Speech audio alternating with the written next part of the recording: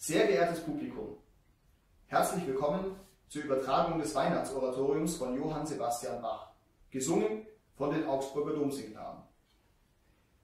Wir zeigen Ihnen die Aufführung in der evangelischen Heiligkreuzkirche im Jahr 2019 mit Dirigent Stefan Steinemann und dem Orchester La Banda. Wir übertragen zunächst die Kantaten 1 bis 3. Im Übergang zur zweiten Hälfte machen wir eine Pause mit Vortrag zweier Geschichten und im Anschluss um 19 Uhr folgen die Kantaten 4 bis 6. Vielleicht genießen Sie die Musik zu Hause bei Plätzchen und Kerzenschein. Vier Augsburger Domsingnaben werden Sie durch das Konzert begleiten, indem Sie sich kurz über die jeweils folgende Kantate unterhalten. Jungs, seid ihr bereit? Julian und Josef, ihr habt das Weihnachtsoratorium ja schon so oft gesungen. Worum geht's da eigentlich? Das Weihnachtsoratorium ist sozusagen die Vertonung der Weihnachtsgeschichte. Es gibt sogar einen Erzähler, das ist der Evangelist, ein Tenor. Der tritt immer wieder auf, um die Geschichte voranzubringen. Ursprünglich, also zu Bachs Zeit, war vorgesehen, dass jede von den sechs Kantaten an einem Feiertag in der Weihnachtszeit aufgeführt wird. Okay, und was genau passiert in Teil 1? Der Eingangschor singt jedenfalls Jauchzet frohlocket und auf Preiset die Tage. Im ersten Teil des Weihnachtsoratoriums wird die Geburt Jesu dargestellt. Maria und Josef verlassen ihre Heimat und gehen nach Bethlehem. Maria ist schwanger und die Geburt steht bevor. Da klingt zum Beispiel die bekannte alte Arie Bereite dich Zion. Ah, okay, naja, und dann kommt Jesus auf die Welt. Wie kommt das in der Musik rüber? In der Arie Großer Herr und starker König tritt das Majestätische in Erscheinung, ausgedrückt durch die Tonart D-Dur und das wunderbare Trompetensolo. Aber Bach verwendet zum Beispiel auch den Moll, wie in dem Rezitativ, und sie gebar ihren ersten Sohn. Rezitativ? Das heißt doch, es ist so eine Mischung aus Reden und Singen. Naja, mit Instrumenten und mit instrumentaler Begleitung. Also bei dem Moll in diesem Rezitativ klingt dann jedenfalls schon ein Moment von Traurigkeit durch. Wie geht es danach weiter? Ab hier wird dann halt schon der Bogen zum Kreuzestod geschlagen. Kreuz und Krippe gehören zusammen. Gut, dann weiß ich ja Bescheid. Los geht's, Herr Steinemann.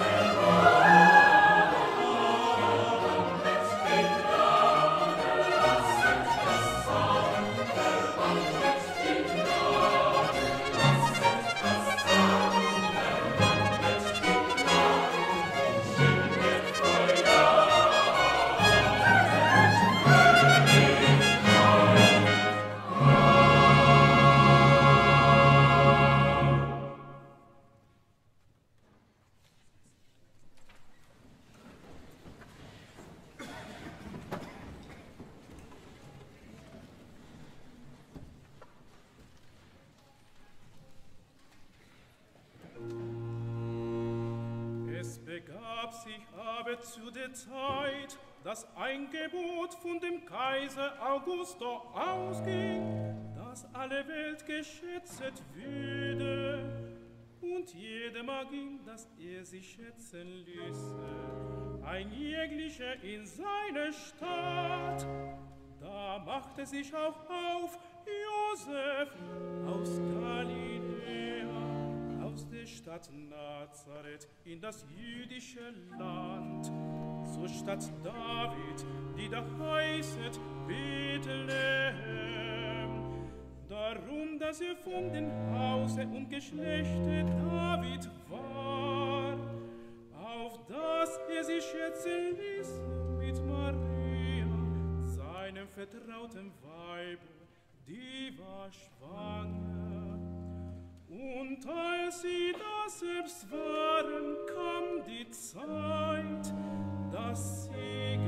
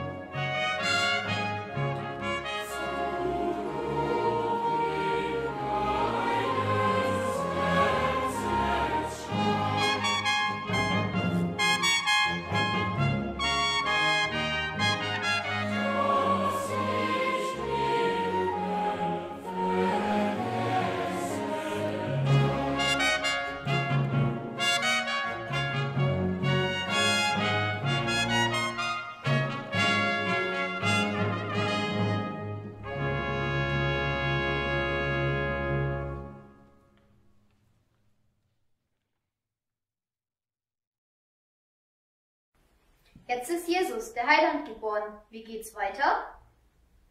Die gute Nachricht verkünden, das übernehmen natürlich die Engel. Sie verkünden die frohe Botschaft den Hirten auf dem Feld. Alles beginnt mit einer Symphonia, einer Art Hirtenmusik. Man hört zunächst Streicher und Flöten, die die himmlische Engelsmusik spielen, und dann Oboen, die klingen ein bisschen wie eine Schalmei, ein typisches Hirteninstrument. Da hinein tritt der Engel der Verkündigung in dem Choral Brich an, oh schönes Morgenlicht. Den Engel sind bestimmt ein Sopran, oder? Ja, Logo, in den höchsten Tönen. Und danach kommt gleich ein tiefer Bass, der kundtut, dass die Verheißung aus dem Alten Testament sich erfüllt. Und dann geht die Post ab bei den Hirten. Sie laufen los zur Krippe. Man hört sie regelrecht in den 16. und 32. Läufen, in der Tenorarie, wie sie laufen, und das Kind zu sehen. Kriegt Jesus in der Krippe dann eigentlich auch ein Ständchen? Also nach dem Choral, schaut hin, dort liegt im finstern Stall, fordert eine Bassstimme dazu auf, zum Stall zu gehen und dem Kind an der Wiege ein Lied zu singen. Und dann singt Maria ein Wiegenlied, das berühmte Schlafe, mein Liebster. Was ist eigentlich mit Ochs und Esel? Kommen die gar nicht vor? Erstmal jubilieren die Engel in dem, im großen Turbachor. Ehre sei Gott in der Höhe und bei Friede auf Erden hörte man, wie auch das Kontinuum zur Ruhe findet. Ein Ia ist da, glaube ich, nicht drin. Das wäre mir aufgefallen. Verstehe. Ich habe gehört, dass es nahezu jede Kantate mit einem Choral endet. Ein Choral ist doch eigentlich ein Kirchenlied, oder? Ja, das ist ein evangelisches Kirchenlied, das üblicherweise früher von der Gemeinde gesungen wurde. Die Choraltexte gehen dann zum Beispiel auf Paul Gerhardt oder Martin Luther zurück. Bei der zweiten Kantate lautet der Schlusschoral dann Wir singen dir in deinem Heer. Da verbinden sich dann himmlische und irdische Musik zum gemeinsamen Gloria. Okay, aber jetzt sind wir erstmal mit dem Hirten auf dem Feld und lauschen, wie die frohe Botschaft verkündet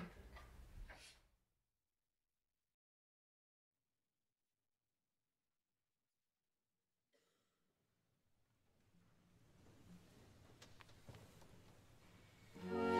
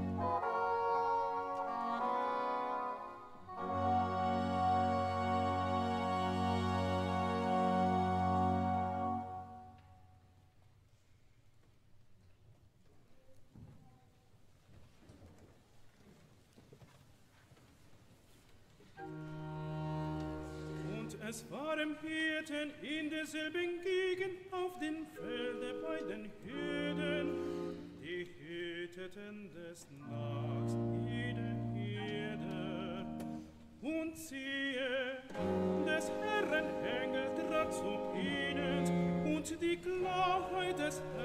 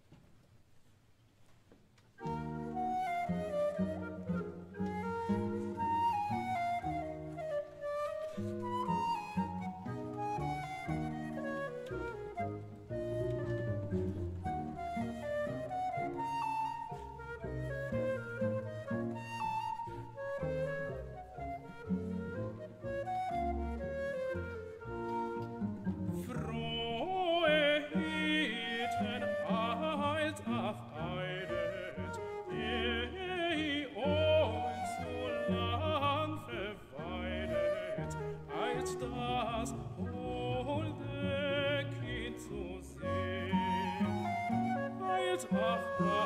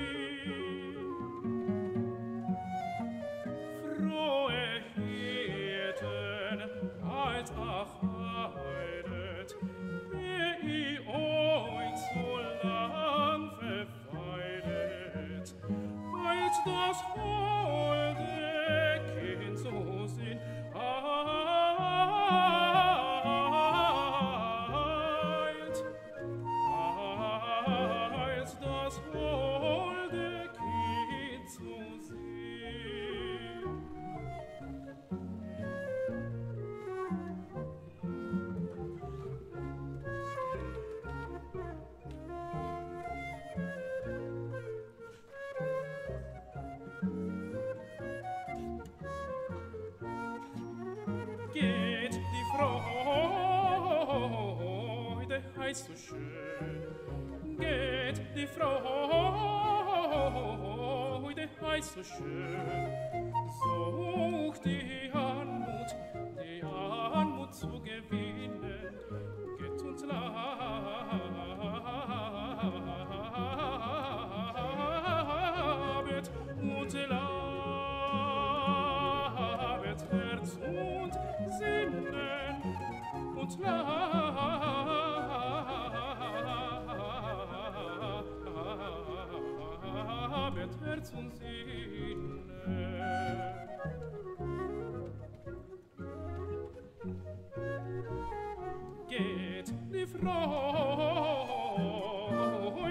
reize schön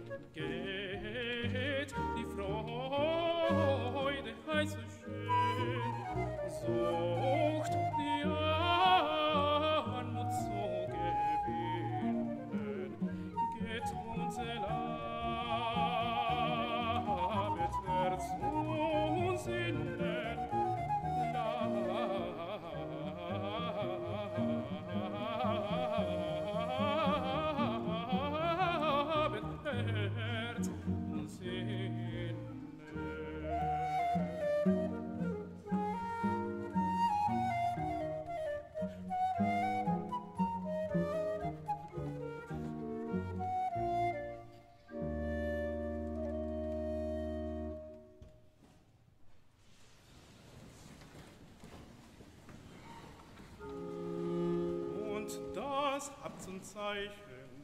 Ihr werdet finden das Kind in Winde gewickelt und in eine Krippe.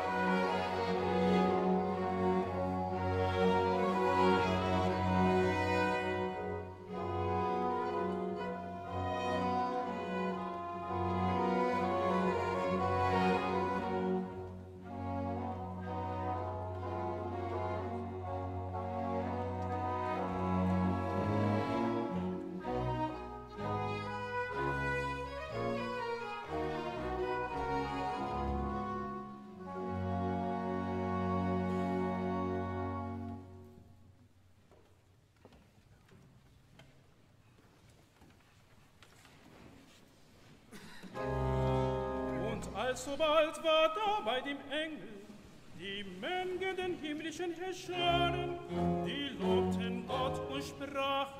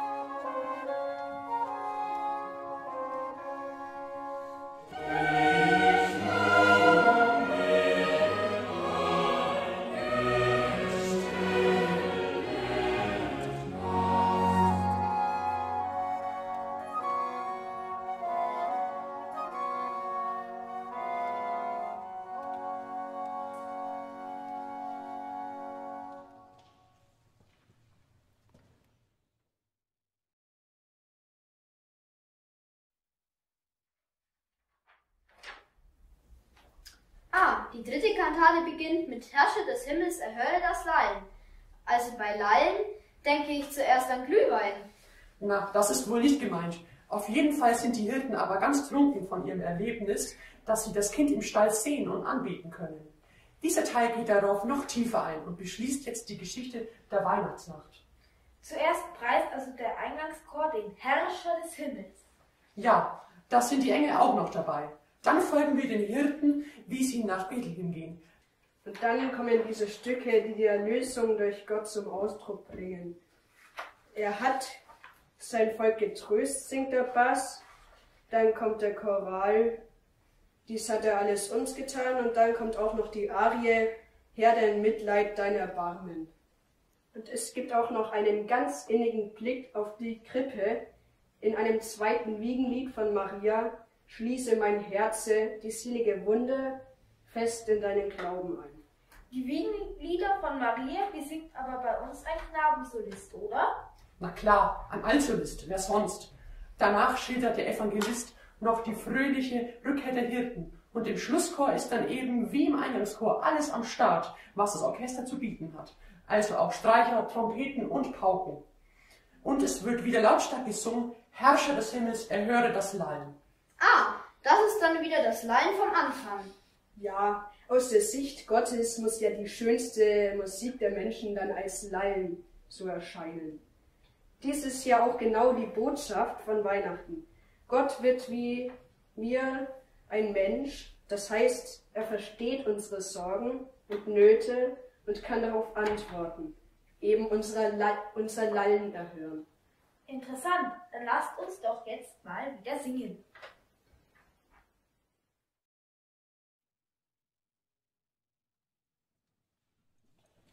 Herrscher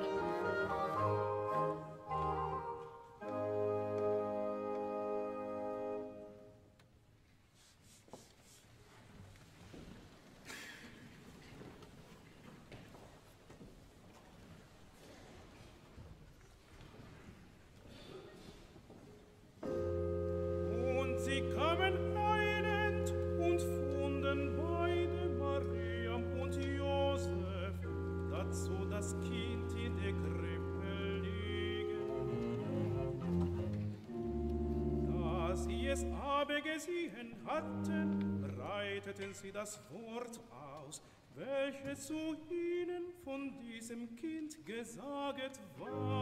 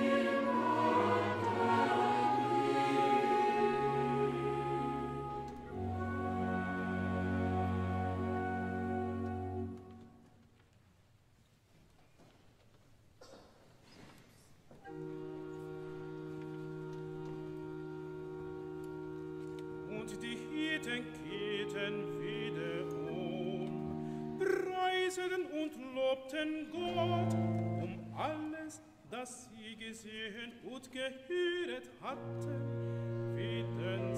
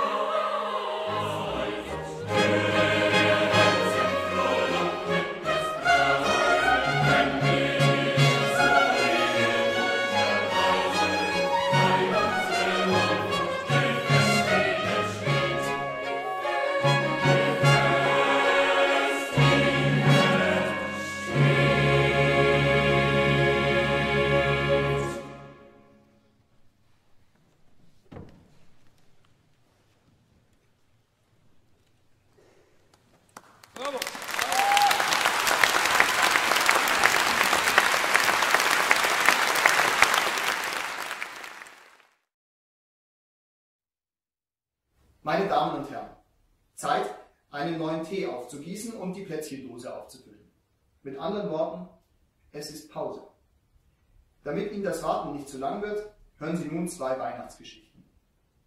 Um 19 Uhr wird wieder gesungen. Es folgen dann die Kantaten 4 bis 6 des Weihnachtsoratoriums. Der Stern mit dem Schweif. Als all und jedes schlief und die ganze Welt in der nächtlichen Stille lag, als die Sterne allein wirkten, hoch und hell über der beschneiten Erde, saßen arme Hirten bei einem knisternden Feuer auf einem Hügel und hüteten ihre Herde. Die vielen Schafe lagen ruhig und warm zusammengerollt unter dem eingedrückten Strohdach, das nach allen Seiten offen war und durch alle Windlöcher die Helle der Nacht hereinließ. Von den Hirten, die die Wache hatten, während die anderen zwischen den wollenen Schafleibern die Ruhe genossen, saßen vier neben dem Feuer bei einem Krug Bier und spielten 66. Jeder, der gewann, durfte einen Schluck von dem leckeren Bier trinken.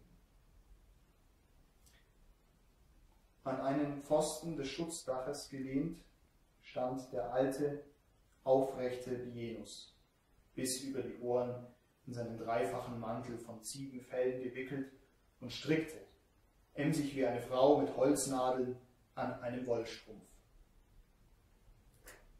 Auf dem Heuboden in der Dunkelheit saß einer und träumte auf seiner Geige. Sonst war es heimlich und still unter diesen einfachen Menschen, die nach Mist und Erde rochen, die Tag aus, Tag ein mit ihren Tieren lebten und mit Leib und Seele verwachsen waren der friedlichen Stille der Felder und der Unendlichkeit des Himmels. Das Feuer, das neben ihnen knisterte und von einem Jungen, einem Kinde, das sie auf den Wanderungen hinter einem Holzhaufen gefunden hatten, unterhalten wurde, legte eine warme, freundliche Helle über ihre wetterbraunen Bauerngesichter und warf gespenstische Schatten auf den Schnee, wenn ihre Arme in die Höhe gingen, um einen Trumpf ins Spiel zu schlagen.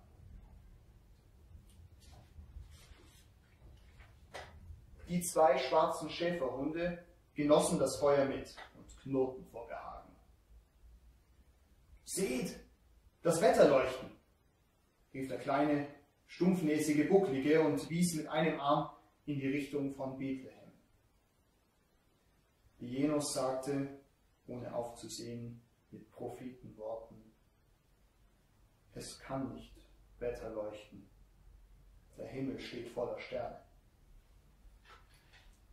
Ich habe es doch, meine ich, gesehen, wagte der Bucklige zögernd Bienus zu entgegnen, der den Lauf der Sterne kannte und fuhr geduldig fort, den Himmel abzusuchen, um noch einmal den wunderbaren Lichtschein zu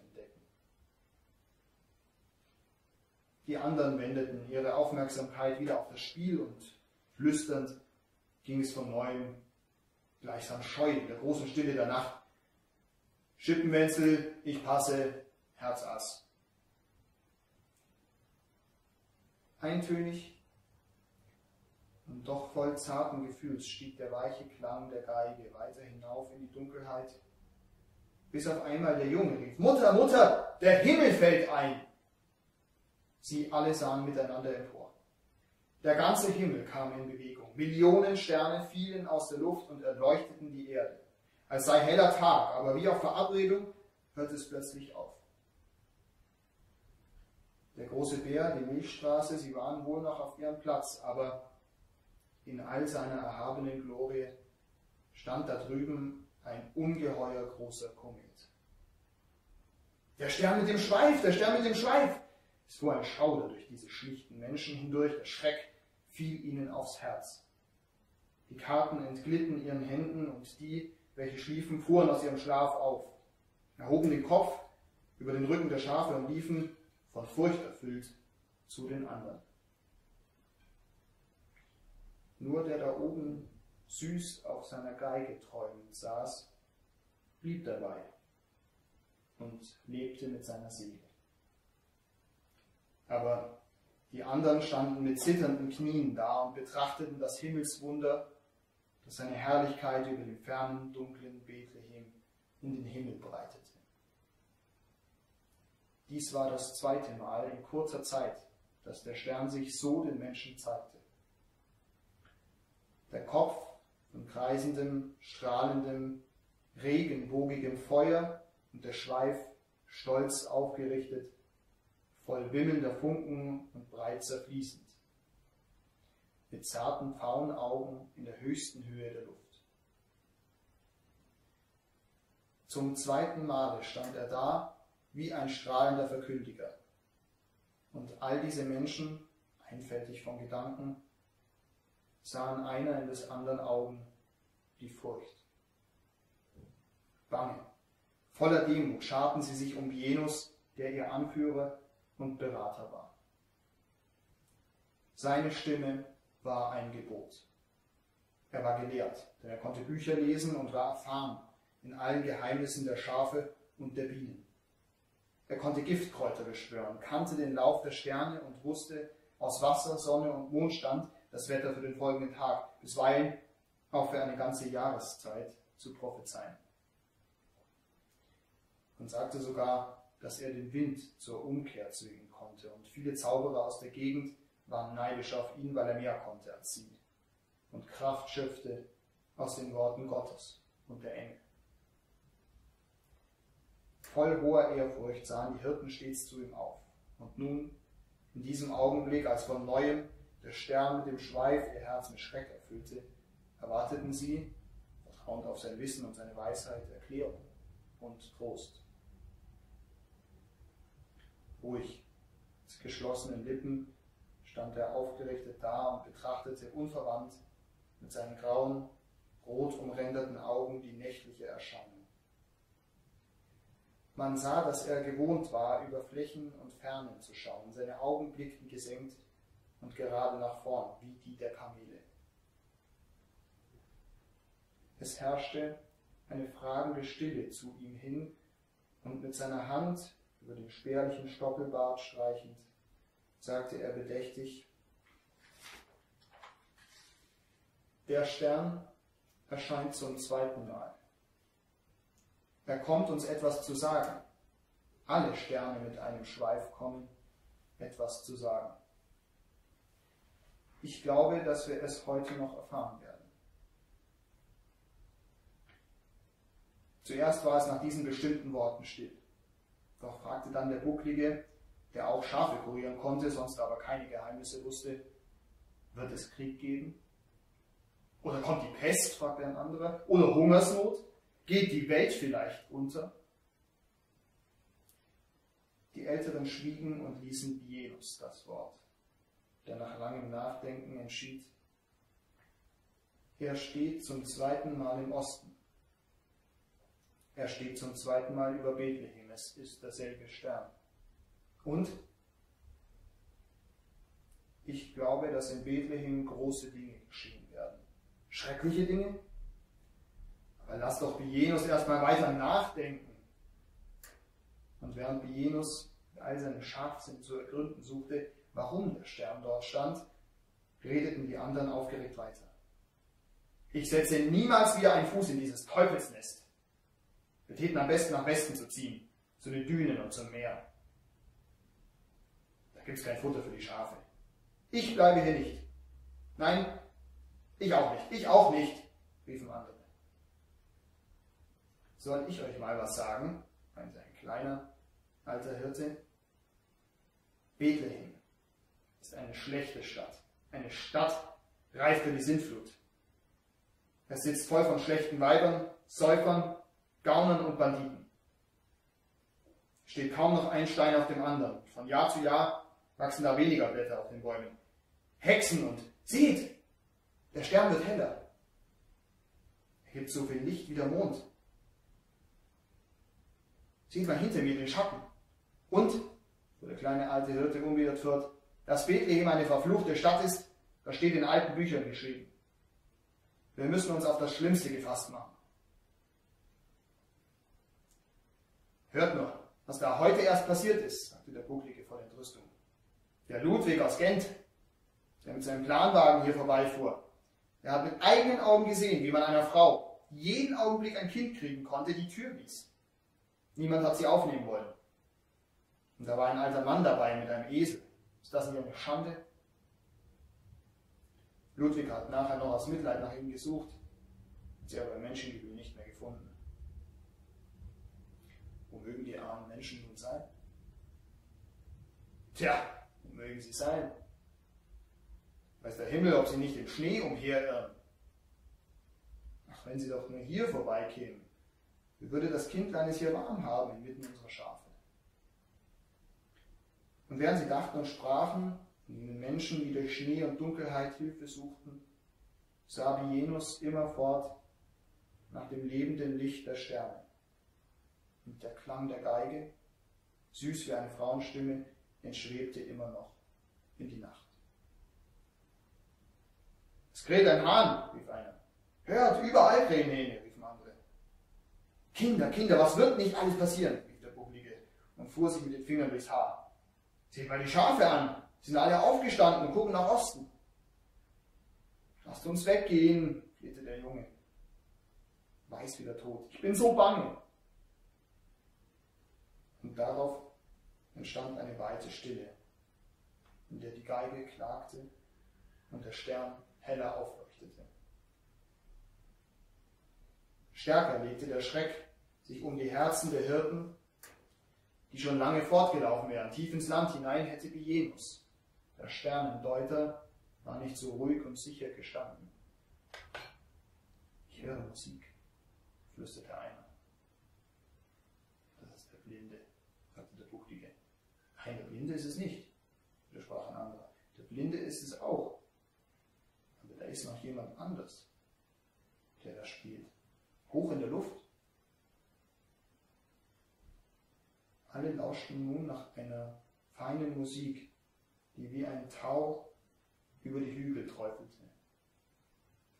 Es waren kurze und lange Klänge, hier, dann dort, dann drüben, wie langsame Regentropfen, die jeder einen süßen Ton gaben, wenn sie die Bäume auf der Erde berührten.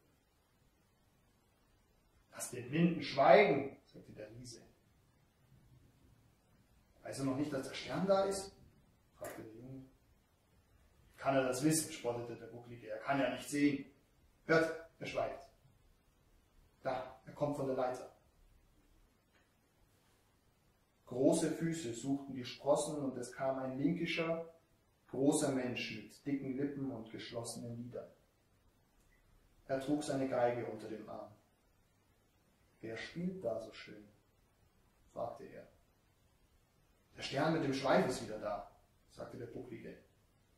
Wo? fragte der Blinde. Da drüben, sagte der Bucklige und wies auf den herrlichen Stern. Wie kannst du nur den Blinden etwas zeigen? brummte der kleine alte Hirt. Er steht über Bethlehem, Jodokus, und leuchtet uns wieder Mondschein. Macht er diese schöne Musik? fragte der Blinde verwundert. Und wieder entstand eine tiefe Stille, wie vor einem großen Unwetter. Kein Schaf rührte sich, nicht einmal das Reisig knackte. Vor Schreck waren ihre Gesichter fahl. Ein jeder fühlte, dass etwas Gewaltiges im Anzug war. Und alle Augen waren auf Vienus gerichtet, als wollten sie Hilfe und Beistand von ihm erflehen.